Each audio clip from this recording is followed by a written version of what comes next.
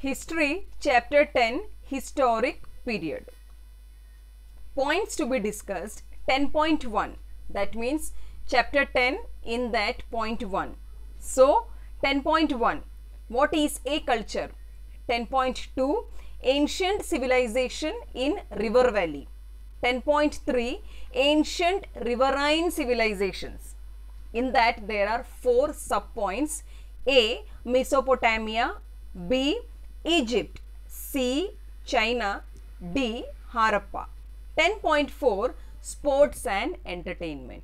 We will be seeing one point each at a time. But before that, let us know how historic period begin. In earlier chapters, you have learned that written records were available in the form of inscriptions, manuscripts, books, etc. for the historic period. In ancient civilization, art of writing was developed. In the last chapter we learnt. It tells us due to the ancient civilization, new stone age came to an end and historic period began. So I hope how historic period begin is clear to you. Let us see the first point what is culture. In this paragraph about animals life and humans life is given separately. Let us see animals life first. Animals depend upon nature to fulfill their needs. However, animals do not much change the environment. For examples, there are animals like bear. Bear lives in caves. Monkey. Monkey lives on trees. Birds. Birds live in nest. What it shows? It shows only us that is human beings change the natural feature of surroundings for them. Yes or no? For example, we human beings roast or cook the food before eating. We work on stone, metals, etc. to make tools and various objects. We make pots, bricks and many other things from clay. We obtain yarn from cotton and weave cloth. In short, according to our needs, according to the need of human beings, we change the form of materials available in the nature. To do this, we must be very skillful. We think and plan before shaping the object. The tradition of thoughts, that is thinking capacity, only human has. Skills and efforts gave rise to various art form. Yes, that we learned in the last chapter. Artistic skills and traditions were passed on to generation to generation, person to person with sitting together and talking and exchanging ideas and plans gave rise to many languages. This is known as culture. So that means the definition of culture given in the history textbook is the knowledge of various arts, skills, traditions were inherited, given, passed on from one family to other family, other family to other family, were inherited from generation to generation and a way to new life on that knowledge was found. It is known as culture. So, what is the definition of culture according to the textbook?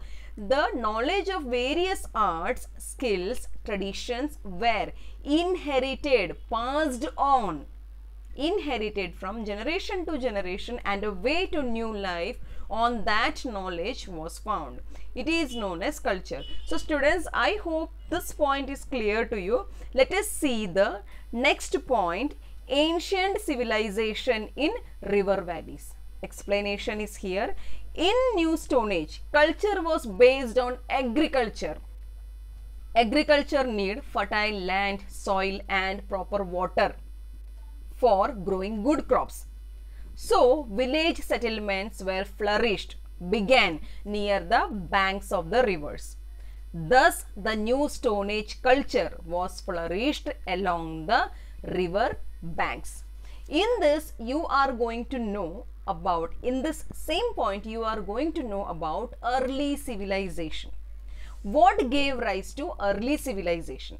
Increase in production due to various skills For example, use of wheel, flourishing trade, trade began, use of well-developed scripts for keeping records. Rise of early civilization came into existence around 300 BC. BC means before Christ. In four regions, four places. Which are those four places? Mesopotamia, Egypt, Indian subcontinent, China. These four regions were developed in river valleys on the bank of the river. Why? Agriculture was taken place. That is why village settlements began there. So they are known as riverine civilization. So students, I hope this point is clear to you. Let us see the next point, ancient riverine civilization. As I said, in this there are four points. We have to discuss each point at a time. These four places which you are seeing on the screen are the names of some places. First one is Mesopotamia.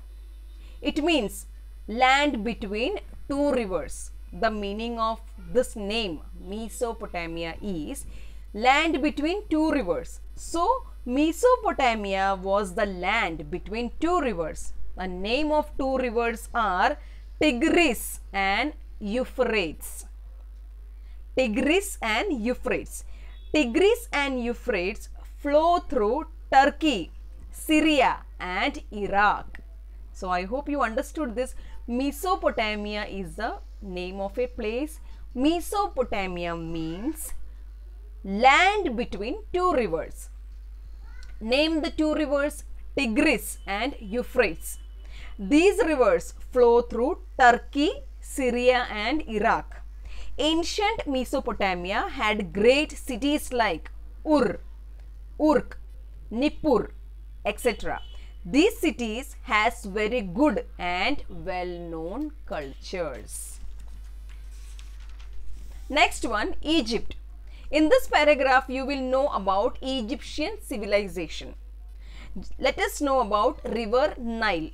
River Nile flows through the eastern part of the Sahara Desert in nor north of Africa.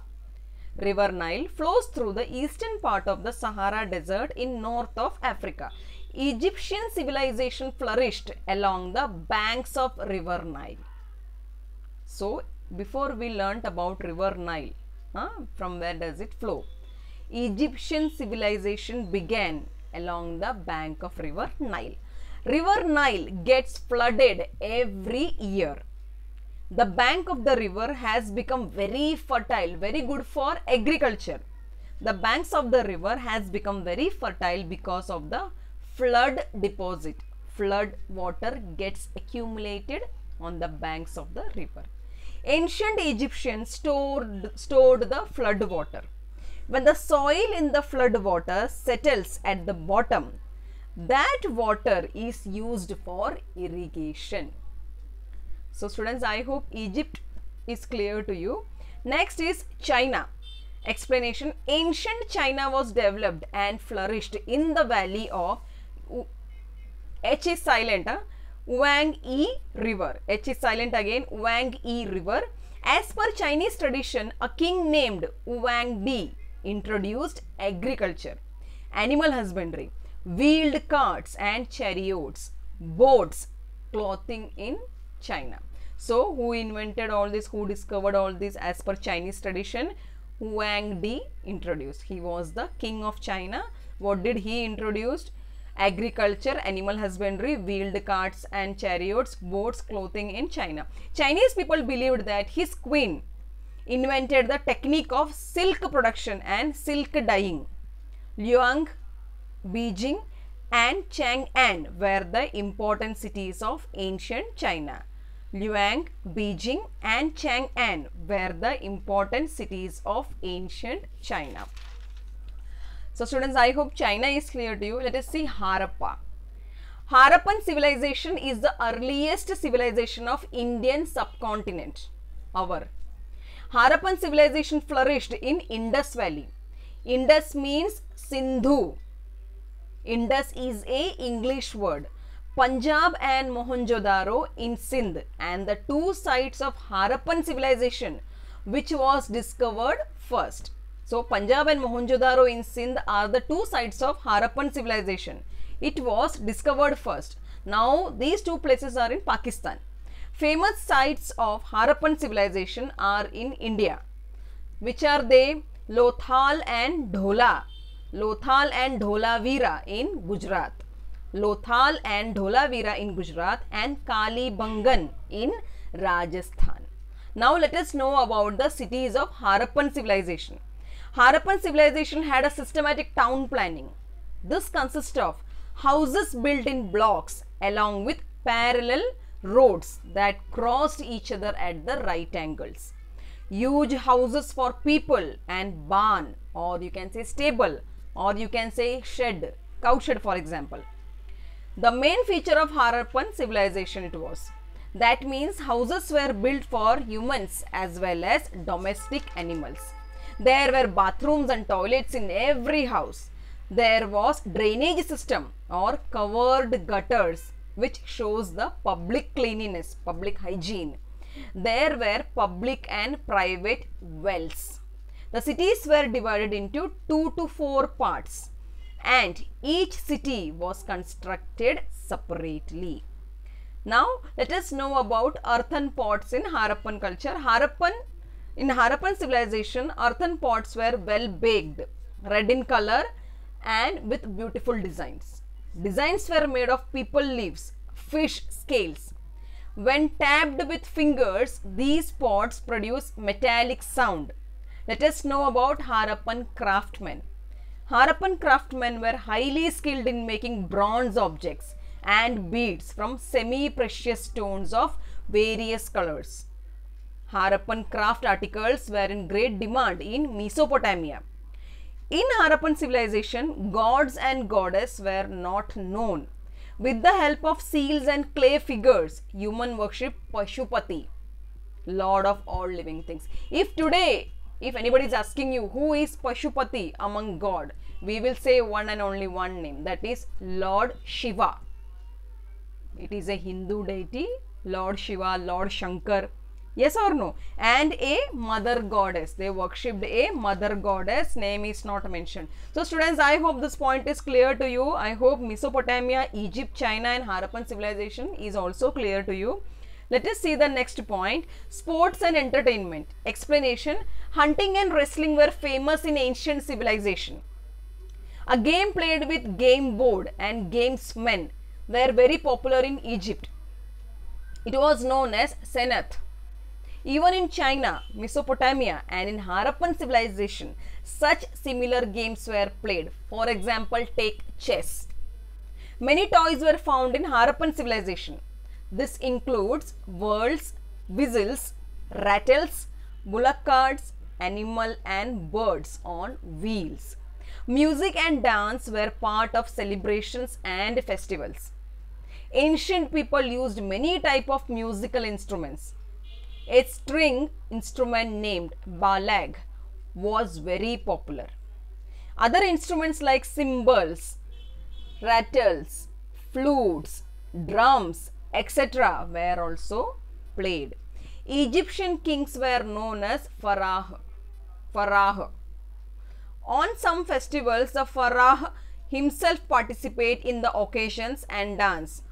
A bronze image of a dancer was found during the excavation, during the digging at Mohenjo-daro. It is the evidence of dance during the Harappan civilization. So students, I hope the fourth point is also clear to you and you have understood the chapter very well. Thank you.